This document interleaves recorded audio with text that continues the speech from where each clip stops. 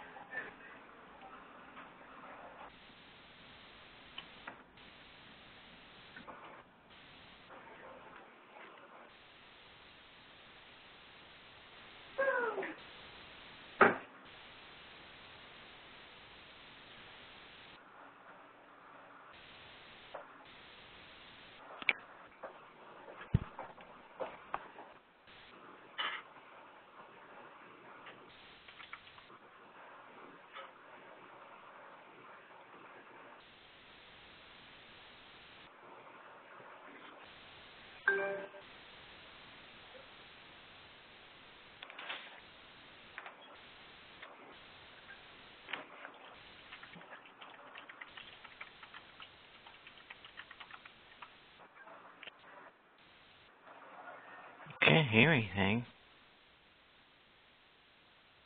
Yeah, we stopped talking. Hi, sorry, it's Hussein Noorani from BCBSA. We're just gathering um, for the call. We should start in, in a few minutes. Thank you.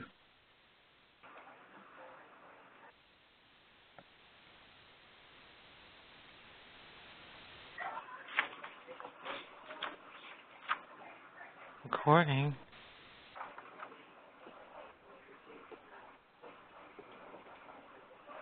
I'm not hearing anything.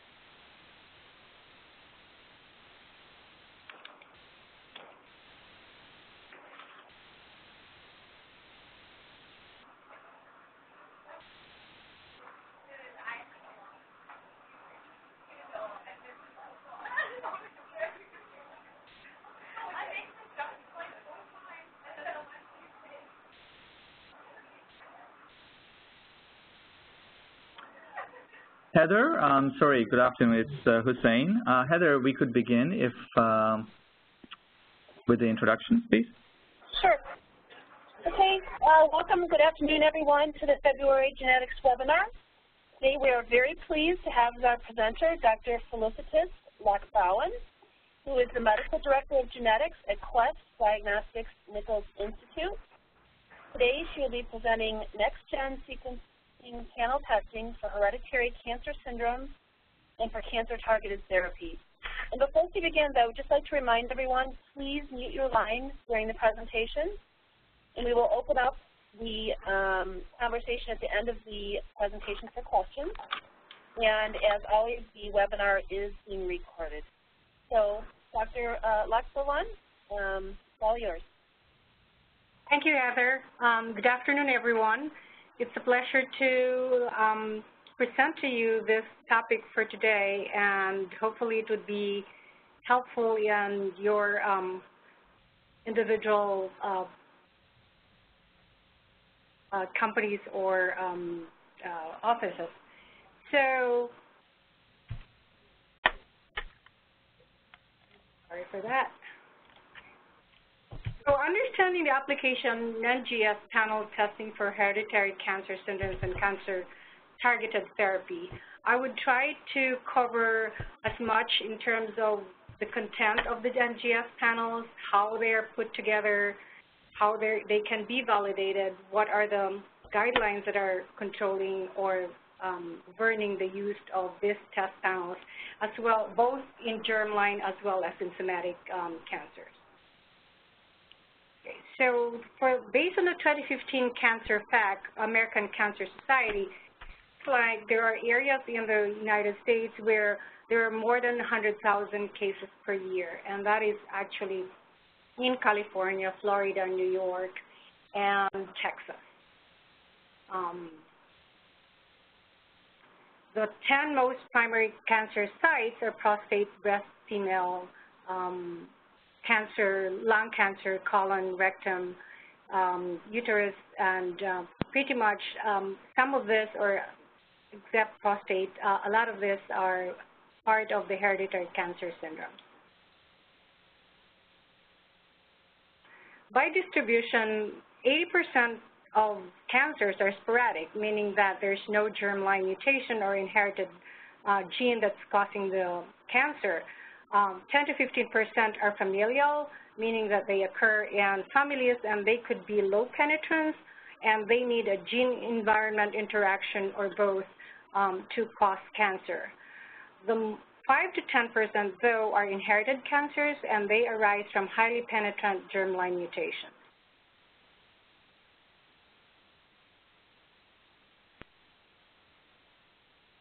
So inherited, um, inheriting a genetic mutation or pathogenic variant does not mean that the patient or the um, person who has that variant develops cancer, but it increases his or her risk. The most common hereditary cancers are breast, ovarian, colorectal, and prostate cancer.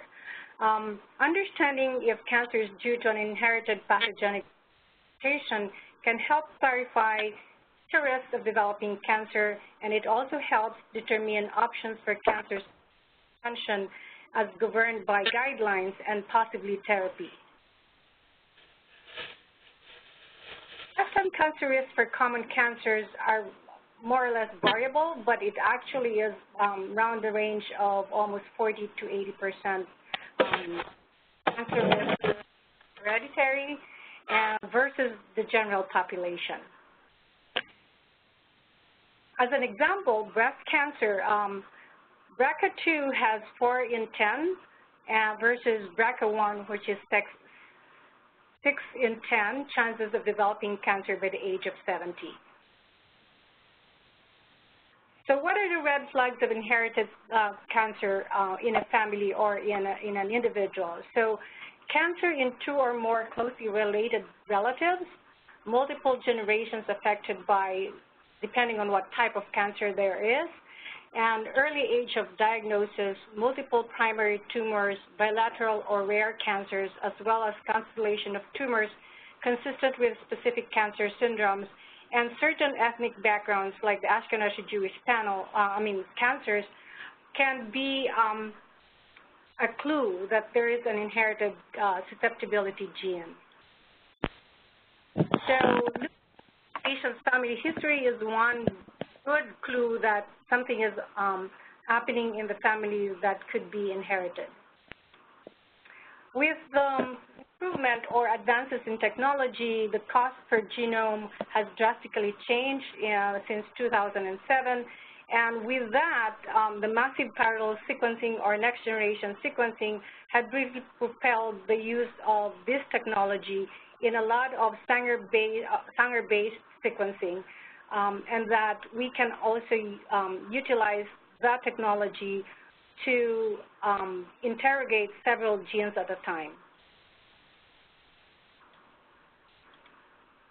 So right now, we when we talk about sequencing, we would be able to do several things. We can do risk management depending on the diagnostic test that actually is um, used for certain gene panels or certain genes. And we can use it also for screening when we apply it to high-risk patients and identify the disease early before the cancer um, occurs. And also for diagnosis um, when we would want to ascertain what kind of um, cancer that patient has, and staging, of course, as well as therapy selection. And I would expound on the therapy selection when I get to the solid tumors, and of course, monitoring for efficacy. The workflow for cancer gene panel um, pretty much is similar to any next generation sequencing.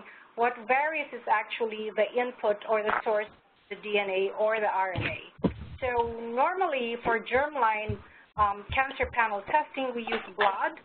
Um, there are some times when you would use FFPE if um, you know that there's a somatic mutation that could be subtracted. You would have a germline mutation from um, from removing the somatic mutations. And sometimes, um, rarely though, um, this is not yet established, but eventually if there is a germline mutation uh, that can be followed using circulating um, free DNA. But right now, most of the cancer um, germline panels are run uh, using blood.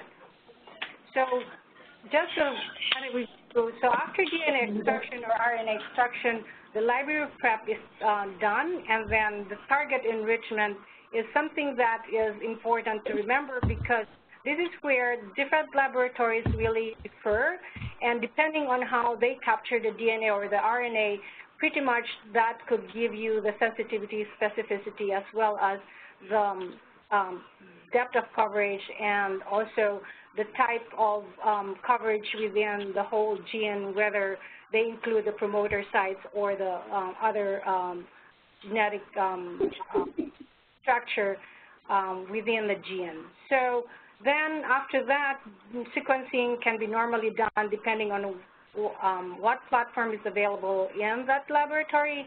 And of course, the other uh, thing that differentiates its lab would be the informatics that's being used, meaning the informatics pipeline, because that would actually um, uh, differ in each of the laboratories that do certain gene panels. Um, the reporting is also something that it may differ within the lab. So just a review, um, the normal or the more common test that one can do is BRCA1, BRCA2, and therefore breast ovarian cancer and the most common high-risk breast cancer susceptibility syndrome because they occur in 1 in 300 to 1 in 800 individuals, more so in Ashkenazi Jewish where they have 1 in 40 uh, individuals. So the cancer risk by age 70 for BRCA1, BRCA2 mutation carriers without personal history of cancer is uh, reflected in this table. So for female breast cancer with BRCA1 mutation, it's up to 65%, and for BRCA2, it's up to 47%, and for ovarian cancer, 39% for BRCA1 and 17% for BRCA2, and for male breast cancer, um, more so on BRCA2, it's 6.8%. So there are uh, other hereditary breast cancer genes, and every year there are more than 200,000 women in the U.S. that are diagnosed with breast cancer. Um, I mentioned earlier that it is mostly BRCA1, BRCA2, but there are certain genes um, which are highlighted in this um, uh, figure, like TP53, PTEN, STK11, CDH1, and PALB2 that are also responsible for um, breast cancer and around 4% of cases.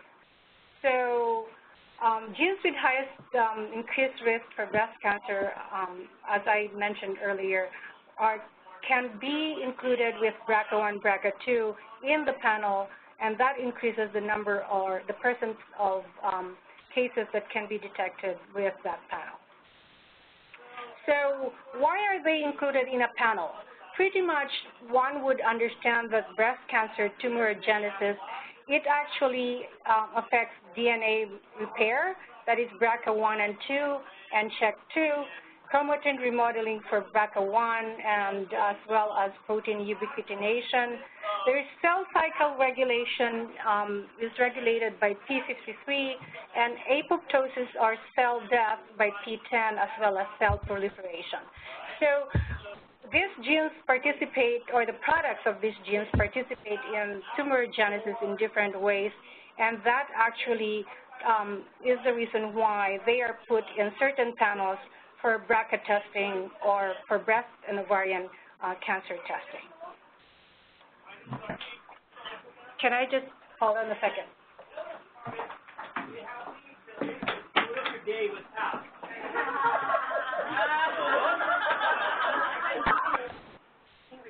Sorry. You probably need to go that route.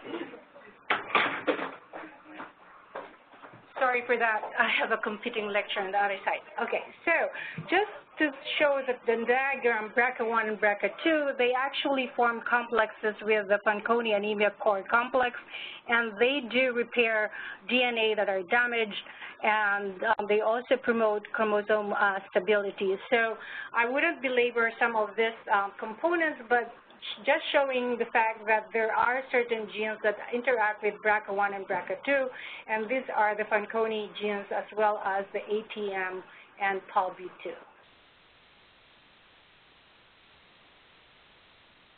So, um, BRCA1, BRCA2, we know it's hereditary, hereditary breast and ovarian cancer syndrome. TP53 is actually um, responsible for Li-Fraumeni syndrome. PTEN for the hamartoma tumor syndrome, which includes Cowden syndrome, and then CDH1 for hereditary diffuse cancer, gastric cancer, and Peutz-Jeghers uh, syndrome for STK11, and PALB2 with the associated breast cancer. In terms of lifetime risk for breast cancer, TP53 has a relative risk of 6.4 times when you have a mutation, a pathogenic mutation, a likely pathogenic mutation for TP53. And then PTEN, we have for breast cancer, 85% approximately at the age of 70 years of age. CDH1, lobular breast cancer risk of 39% to 52% by age 80 years of age. And STK11 breast cancer risk of 45% uh, by age 70 and PALB2 breast cancer of 35% by age 70. Then, as I mentioned earlier too, there are several other cancers that can be associated with different um, genes, and for TP53, um, bone, connective tissue, brain, pancreas, colon, and liver are also increased in patients who have TP53 um, mutations. And for Cowden, um, besides breast, uh, one can have thyroid, endometrial, renal, colorectal, and melanoma. And of course, um, hereditary diffuse gastric cancer in males and females may differ. And then Peutz-Jeghers for um, gastrointestinal cancer, including pancreatic cancer, 11% by age 70. So the NCCN guideline actually gives a very um, well-defined um, criteria for testing based on age, family history, personal history. And pretty much, um, I wouldn't read through the whole um, criteria, but it does tell you who are to be tested and that within the family you can actually identify who needs to be tested after an individual in the family has been um, documented to have a mutation.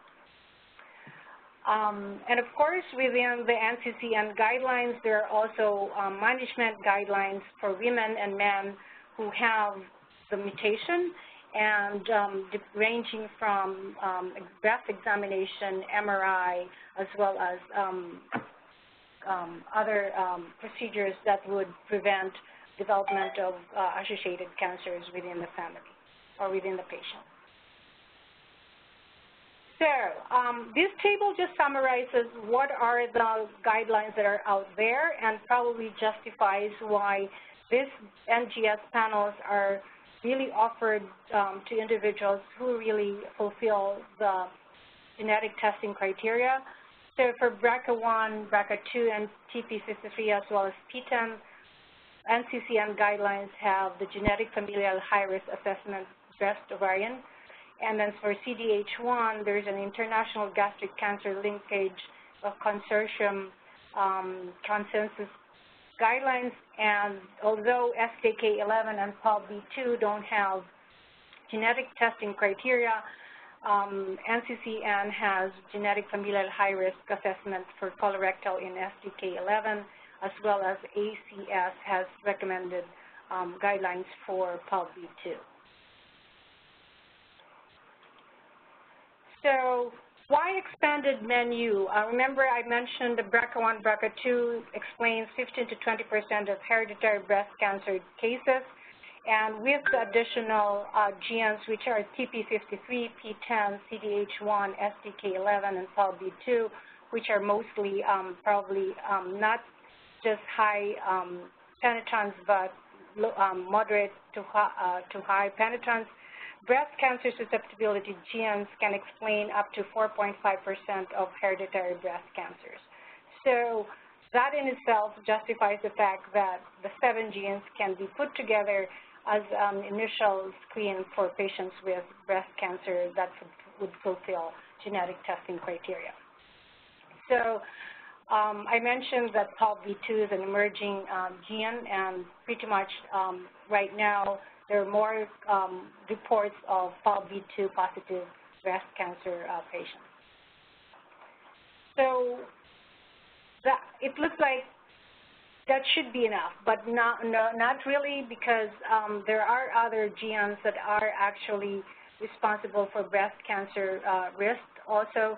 And just here, just summarizing the fact that when will you use a panel versus just BRCA1, BRCA2, um, depending on um, the family history, one can actually uh, prioritize BRCA1, BRCA2 if it's mostly hereditary breast cancer ovarian and um, um but if there's a mixture of uh, within the same family of certain other um, cancers, one can opt to take the seven genes or even a 34 gene, which actually I can um, explain.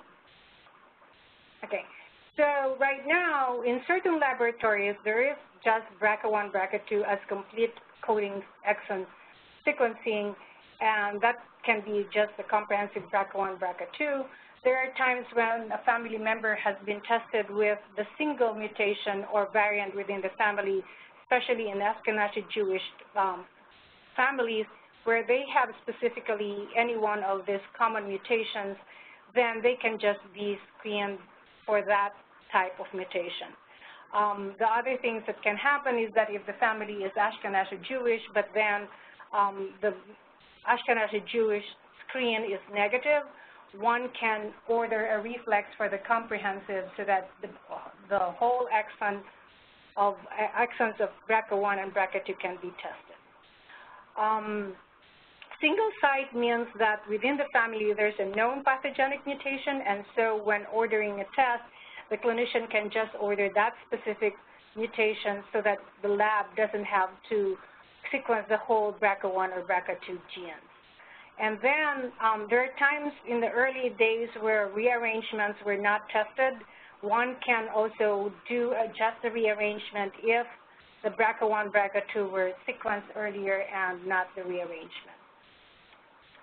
Then I mentioned that um, the seven gene panel we can call expanded panel, and who are the cases that would need those this panel um, it depends. Um, sometimes when the family history is not very specific and not focusing or directing um, the test to just um, BRCA1, BRCA2, then you can order a seven gene panel, uh, including BRCA1, BRCA2, TP53, PTEN, CDH11, STK11, and PALB2.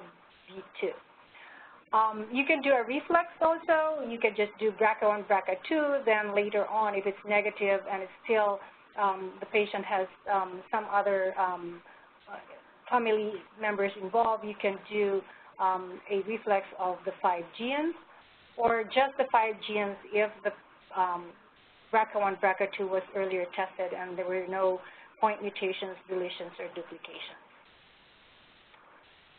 Then comes the bigger panel, and this has been up and coming in different laboratories, and um, I'm just showing you what we have, but pretty much the reason why they are put together is because they can have not only breast cancer, here we have the seven gene panel that I discussed earlier, but then we in, uh, within the other genes which are actually, chances are they're low to moderate risks and low penetrance, they can also cause breast cancer and some other uh, cancers like ovarian cancer.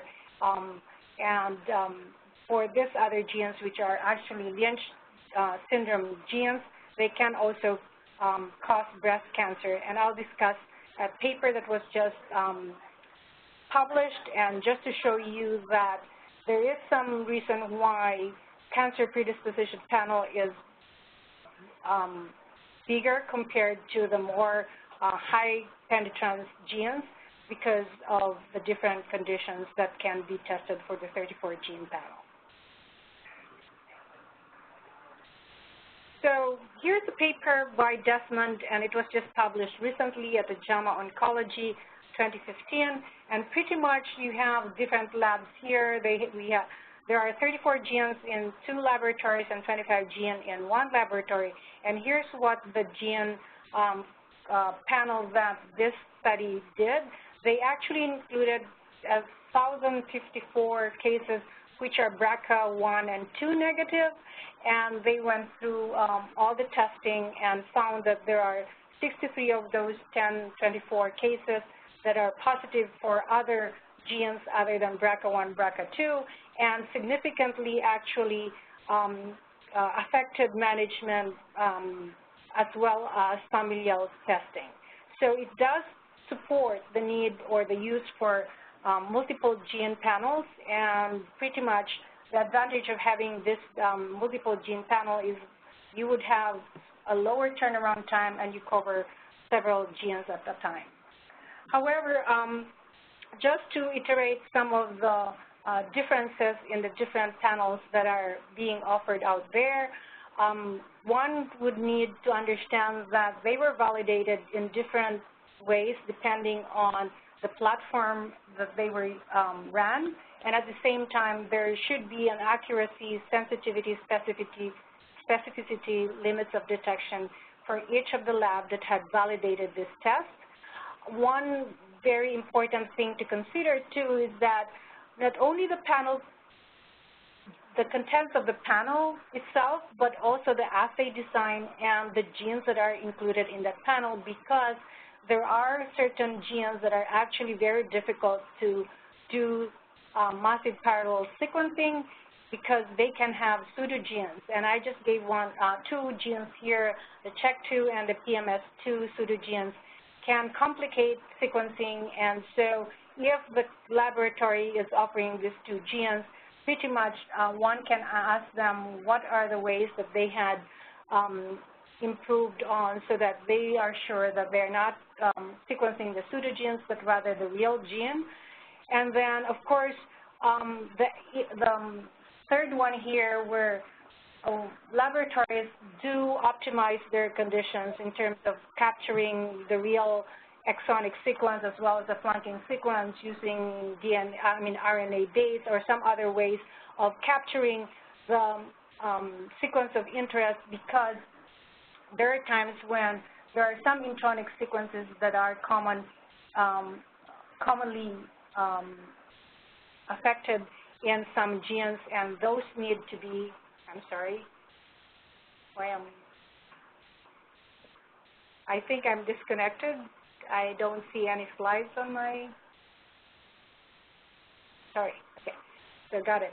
Um, so with all these um, technicalities within the assay design, one should understand that there's also a difference between using tissue and blood and um, the mechanism for capturing low copy number variants as well as uh, addressing MOSAI system. And uh, the other one is also the type of mutation or rearrangement that one actually can see using that assay. Because some assays would not be um, um, detecting the CNVs as well as large rearrangement. More so for massive parallel sequencing, triplet repeats are difficult to um, actually identify, although they don't occur in some of the, in most of these genes that we have anyway for the NGS panels for cancer. And again, Uh, sequencing performance and quality metrics need to be um, understood as well as I mentioned earlier, the bioinformatics pipeline is also important because some bioinformatics pipeline actually do not detect small deletions um, and they can be missed. Okay, so yeah, at any rate, once you have a pipeline that is working and annotation and classification is pretty much standard. However, in different laboratories also, multiple data um, base sources are um, something to highlight. Uh, there are publicly available mutation databases, and some of them are reported or recorded here in the slide. So everybody can use those, but there are certain private databases that others can um, query and um, consortia and other um, companies that are actually in um, participation or in um, collaboration with other foreign uh, laboratories. So those are the things that can happen in terms of annotation and variations in annotation. But hopefully with more public databases and more publications, pretty much um, every um, or most of the variants can be annotated similarly. Um, there are multiple reviews for VUS and pathogenic cases in most laboratories, and anything that can be reclassified within a certain period of time can be done um, by the lab and contact um, the clinician who had ordered the test. Co-segregation family studies can help in VUS reclassification, and I think um, some labs are doing those. And of course, um, pretty much most of the labs or all of the labs are doing final interpretation by board certified directors who are experienced in um, interpretation. So in a breast cancer report, besides the fact that the turnaround time is um, um, important, one can reflect options within 21 days, at least within our lab, and the interpretation summary, depending on which lab you're um, sending your test, it's pretty much they're categorized and highlighted, and all of the ACMG guidelines are utilized. So that uh, actually um, is the germline side of cancer um, sequencing. I'm shifting to solid tumors, um, and if uh, you have any questions, we'll take it at the end of the talk. So solid tumors, um, many of you probably have, um, if you remember in med school, or, or at least um, the theory that you have to have a double hit to have tumors, or you have an environmental factor that affects um, a previous mutation within the tumor uh, um, producing genes before you can have tumor.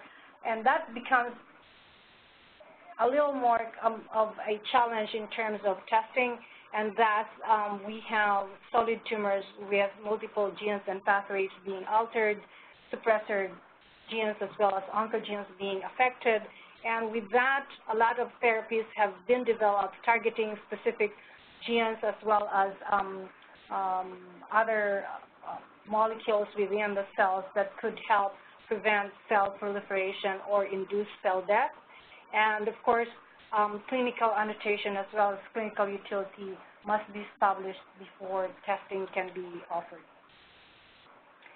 So the clinical view of cancer, one could see the different stages or the different um, cell activity that can be affected during tumor um, formation, and that basically you're either inducing proliferation, preventing death of the cell, or pretty much uh, there is a driver mutation within that type of cell that actually causes the proliferation of that cell.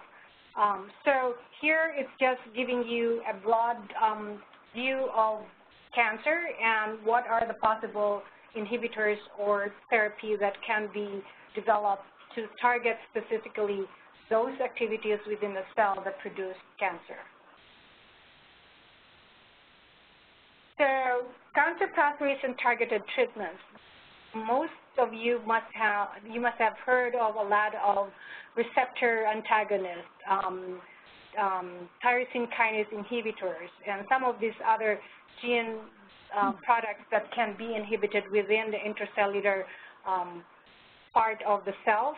And um, any part or any um, protein within these pathways can be inhibited or depending on what the mutation or variants that can occur, they can actually have a constitutional uh, activation of that receptor leading to cell proliferation or um, some um, um, inhibition of apoptosis. And this actually just summarizes the fact that there are several uh, receptors, cell receptors that can be shared by different cancers and that um, certain drugs or emerging um, therapeutic um, agents can be used um, to target certain cancers and um, they can also be used in some other non um, specific cancers depending on the target. So just to give you an example, lung cancer, uh, erlotinib is a, one of the drugs that can um, be used for treatment of lung cancer, and it is pretty much inhibiting the EGFR um, mutated uh, receptor action. So uh, again, just you can probably look at the slides again, but I don't need to belabor the point that several um, genes responsible for tumorigenesis are shared by a lot of solid tumors, and there are specific solid tumors that wherein they're very much really more related to um, a specific tumor, but again, since they share different genes and they can have driver mutations in different um, solid tumors, then one can use a targeted mutation for that specific gene uh, product. For lung, uh, for lung cancer, pretty much, and some solid cancers, they have at least a dozen of shared genes that one can target, and that's the rationale why some of the hotspots um, that are commercially available are being used in different laboratories. And of course, for lung, melanoma, breast, and colorectal, here are all the genes that are actually being targeted by some commercially available and some IVD um, diagnostic kits. And um, that in itself, um, pretty much because of the hotspots, one can easily direct or target that particular cancer based on the cancer profile. So in most next-generation sequencing, um, there are several targeted actionable genes for us, we have a 34-gene panel, and it is applicable to all solid tumors, and it's annotated directed at FDA-approved drugs. And sometimes with the more um, or the less common uh, genes, we have clinical trials that are available, and most of uh, the other labs, as well as us, we actually can suggest which of these clinical trials can be used depending on the variants that are actually identified uh, after the sequencing. So for next generation sequencing for solid tumor, one can use FFPE, tissue, small biopsies, FNAs, and sometimes there are um, tests wherein one can use um, some other um, types of cells, but um, uh, for the most part, it's FFPE. As an example, um, lung cancer. So there are treatment options based on molecular profile, as I alluded to earlier, and specifically for lung cancer, if you have an EGFR exon 18, 19, 21 and mutation, you could use uh, erlotinib, and for the other mutations in EGFR, as well as some of the positive KRAS mutations for 12, 13, and 61, this um, drug cannot be used because it's non-responsive. So this table just gives you a flavor of um, the different antibodies or the different drugs that can actually um, antagonize um, the driver mutations. And here are the different genes here based on um, um, the mutations, and then here are all the different used for each of the different um, gene-specific mutations that can occur in lung cancer, specifically the non-small cell lung cancer. So um, in most cases, um, these are the ones that are targeted for diagnostic or profile. So for lung cancer, uh, essential is EGFR, BRAF, and ALK. Um, some have used ROS1, RET, MET, FISH, as well as uh, HER2 mutation uh, detection. And for colorectal, KRAS, NRAS, HRAS, PIK3CA, and BRAF. And for melanoma, BRAF and KIT. So for the ones that are not commonly associated with hotspots, and if they're negative in this more um, hotspot-directed um, and less um, number of genes that are commonly uh, tested, one can use a gene panel that can encompass more genes that are actually causing um, um, driver mutations that are um, associated with cancer. So again, this is level one association between genes and FDA-approved therapies and ranging from BRAF, EGFR, HRAS, KIT, RET, SM, uh, Smoothened, KRAS, and NRAS. And here are all the tumor types here ranging from melanoma to colorectal cancer and then the association of the different mutations that can occur whether they are sensitive or resistant to the specific drugs on column two. Um, this can be um, the table where we refer the more common um, changes that are associated with um, the different cancer types as well as the genes that are related to targeted therapy.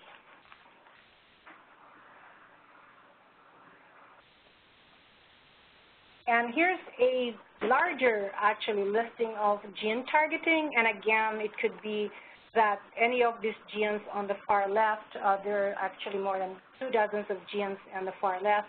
Any of these genes can confer mutation, any, in any of these genes can confer resistance or sensitivity depending on what is the um, mutation, and the treatment can be identified or dictated um, depending on which gene is affected and um, what the mutation is.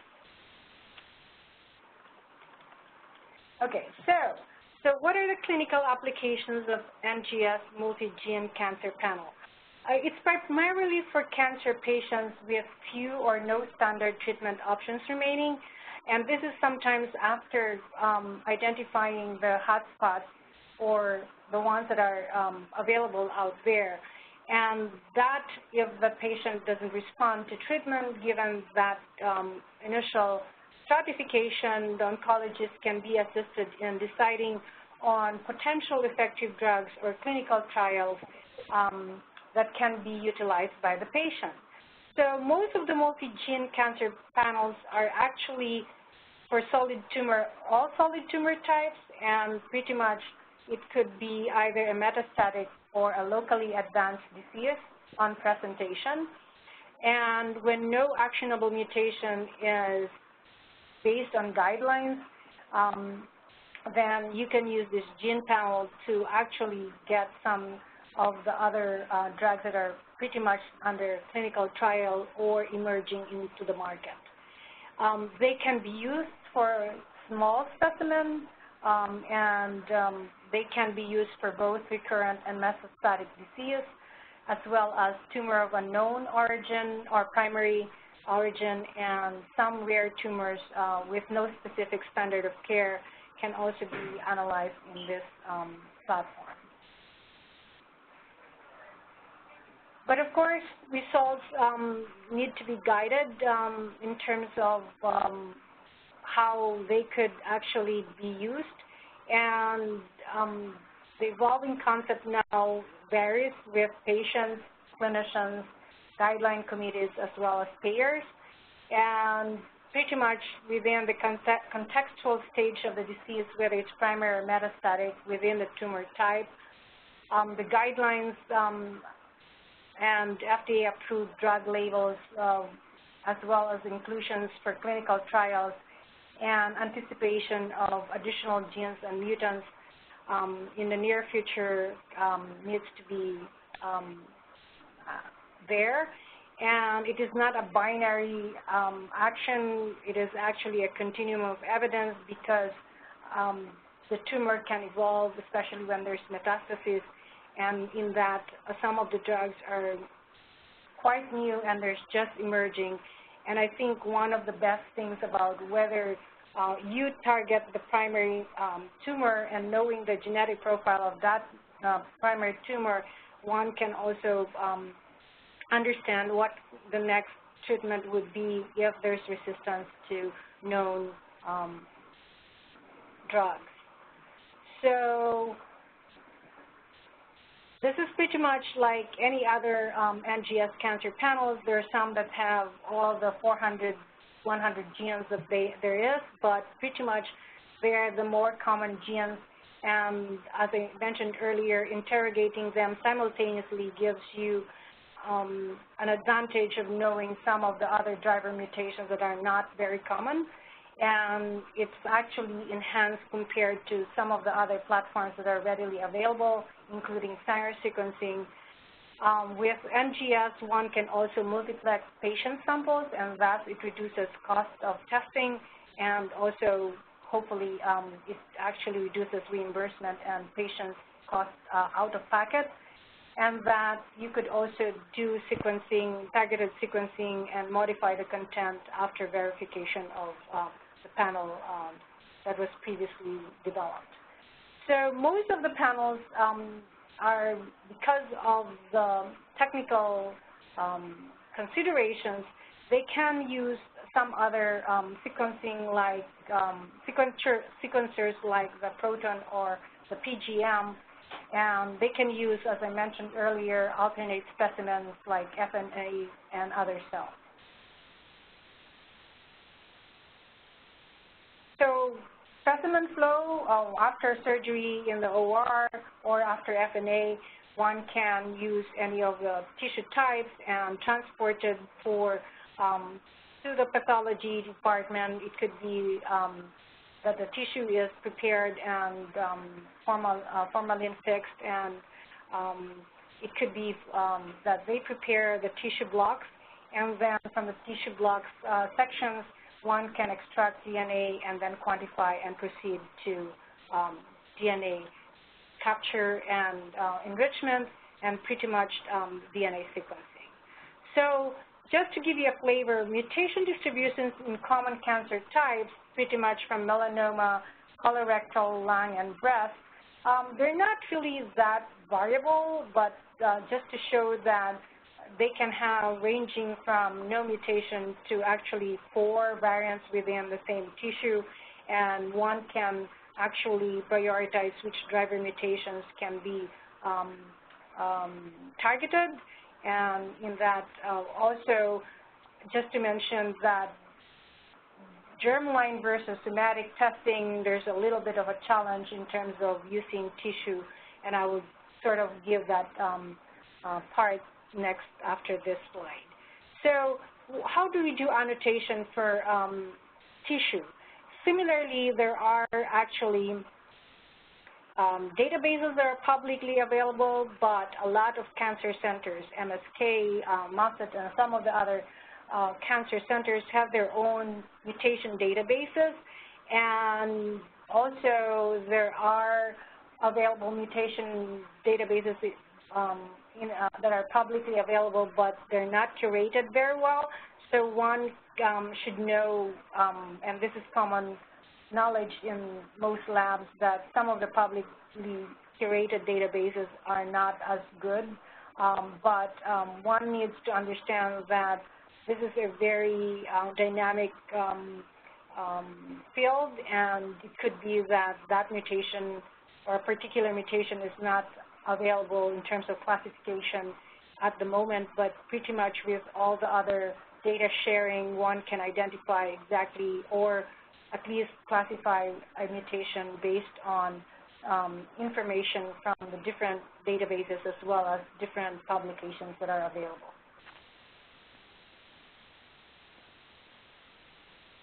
So mutations are identified and clinical relevance are given based on what is out there in terms of literature.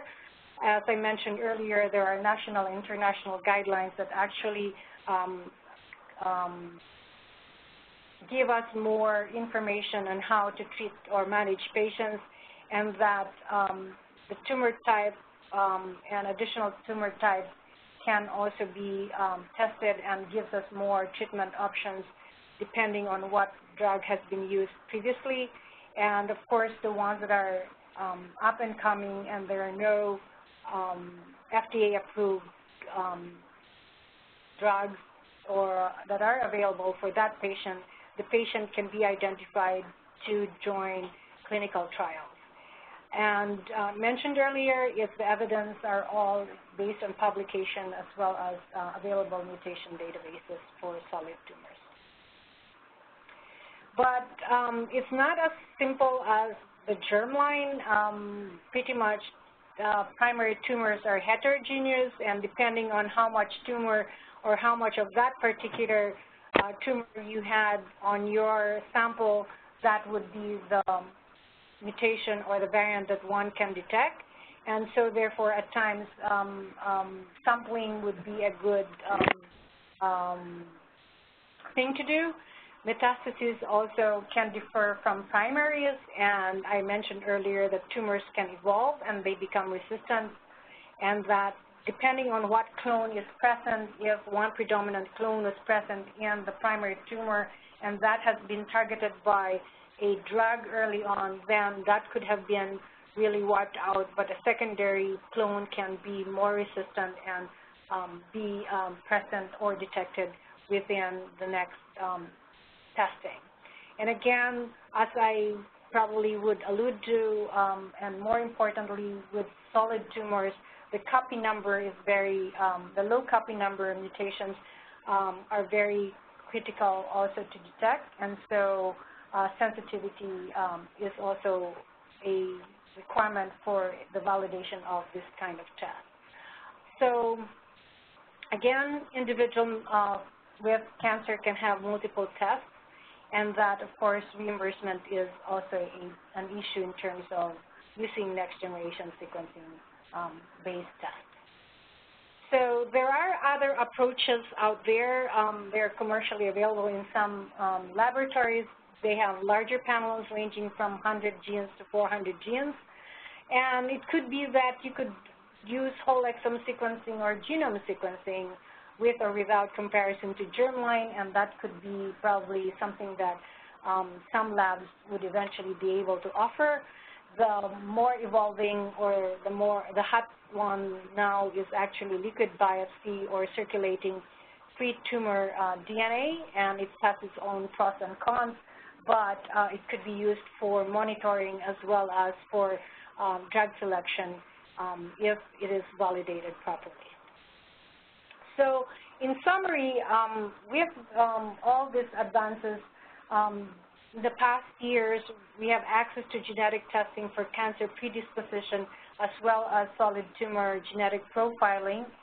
Um, there are important technical advances, but um, there are also differences in different uh, laboratories, so they may vary in terms of performance, and that one should be worried about how these tests were designed and the platforms that are used, and pretty much um, they can be um, probably gathered from the laboratories that are actually offering this test, and that the other distinguishing or the difference, differentiating um, point for the different labs that offer solid tumor as well as germline mutation analysis is the databases that they use. At the same time, um, there are a lot of um, recent publications on clinical utility of multiple gene panels, and I alluded to, to one of the more recent ones, and that overall the field of genetic testing for predisposition to cancer is becoming fundamentally important and providing clinical validity and utility. And it does give um, hope to some of the some of the patients who don't have the FDA FDA drug-sensitive uh, cancers, and in that um, nowadays, since we can do genetic profiling of tissue, one can be guided uh, on which drug can be used and that um, the targeted therapy will be better used than a shotgun therapy. So with that, I think I have 10 minutes for question and answer. Thank you very much.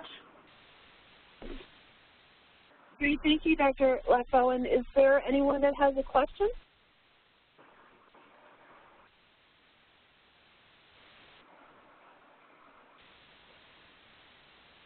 Hi, uh, this is um, Dr. Bob Wildin from NHGRI. That was a fantastic presentation. I came in about 15 minutes late, but um, uh, I really uh, enjoyed that. Um, I have a question about the um, uh, the um, cancer predisposition genes uh, and uh, and and sort of the historical part of that. So we think of BRCA1 and BRCA2 as fairly well established and um, and and clinically useful. And do you think that that's because um, they are more common and more, or or because they are um, it was sort of first first to discovery and first to market, or is it because it is fundamentally more powerful than the other genes in the panels that you talked about? Okay, at least for breast cancer, um, the, our, in our experience, it's pretty much, uh, as you mentioned, um, it is the more common ones in terms of, I'm, I'm, talking about experience in terms of the seven gene panel, and it's the, it is the more common, the BRCA1, BRCA2 is still the most common mutations that we find, and in that, of course, um, there are some emerging or low to moderate um, uh, penetrance um, genes like CHEK2 and uh, PALB2 that we are actually getting more cases on. But I guess because the other thing too is because the BRCA1, BRCA2 has been tested longer, and who knows if there's it would. I mean, most most probably it would stay as the most common one and the more dominant um, um, gene associated for breast cancer and ovarian. But it's it's not it's not fundamentally different than the others. Um, it's just sort of more common and has a longer track record. Um, I would say that that is true for now. Um, I guess the more testing or the more uh, individuals are getting tested with the larger panels, we can understand more probably because I, the other, I'm a clinical geneticist too, but um, the cancer is like to me, well, you're not testing a lot of other possible cancer syndromes. You're just testing mostly, as you have alluded to, the one because BRCA1, BRCA2 is the most associated one, and it's more commonly tested. So again, will that landscape change? Maybe. Um, and if you okay. can, if you know more, probably you can share more. No, no, I'm just, I'm, I, it just, it just struck me that, um, you know, we we we we think um, a lot about BRCA1 and BRCA2, and there's a lot of publicity, and there was, you know, um, Myriad um, Genetics put a lot of um, a lot of uh, publicity into it, and so there, and that's not true of most of the other genes that, that mm -hmm. are, are sort of coming coming to light now. So it kind of got this head start, it, yep. it is a fairly high penetrance um, penetrance um, area, uh, which also helps it too. And I guess what I'm trying to point out is that is that um, we, I think, unconsciously make a division between BRCA1 and BRCA2 and then all the rest. And I'm not sure that from a clinical standpoint that that's fair. Yeah, and, I'm with you in that. It's, I think, because the other thing, too, is that because we have more experience and we have more families that have been tested, we get all these referrals most, I mean, not just from um, probands within a family, but actually the ones that have been, I mean, had relatives who had been tested before. So Which is another interesting point about that, that category of testing is that it has knock-on effects. So even though you may use a panel in the proband, uh, once you find, you know, um, associated mutations, then then you can do targeted testing and the, and the relative at much lower cost. That's right, precisely. Hi, this is Dan Halebi at Horizon. Uh, thanks for the, the presentation. Uh, very interesting. Uh, I have a question about your comments regarding the recent studies uh, talking about clinical utility for the tumor panels. Mm -hmm.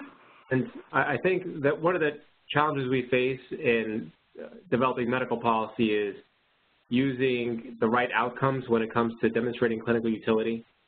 Sure. And I think concern I had with these studies is that they really didn't look at any kind of hard outcomes. And and, and I'm, I'm, using this in comparison to what we've seen. I think that was called the Shiva trial, which was uh, several months ago. And that was, I think, the, the closer to the right kind of study design we'd be looking for, where the, the result of the panel would guide therapy, and then we'd look at hard outcomes. Whereas mm-hmm. these trials uh, in JAMA Oncology, you know, one of them looked at perhaps increasing the yield of abnormalities, which is relevant, but certainly doesn't demonstrate clinical utility when it comes to changing outcomes. And then the other trial uh, was looking at, oh, actually, I think they looked for targeted mutations, but when they actually looked at what happened, it was observational, and they found that uh, very, very few patients actually did get the, the recommended targeted therapy. Mm. So are, are, there other trials that, I mean, so far, am I misunderstanding these recent trials? And the second question is, are there other trials which would you think would be uh, more convincing, consistent with uh, a, looking for hard outcomes. Okay, so you let's. Uh, I think I don't know. I, the, the, the clinical actionability paper by Desmond and company are the co-workers. It is a multi-center trial, and it's actually they actually have demonstrated that 4% of their cases have significantly changed in terms of management. So I think that that's like one of the more, uh, to this day,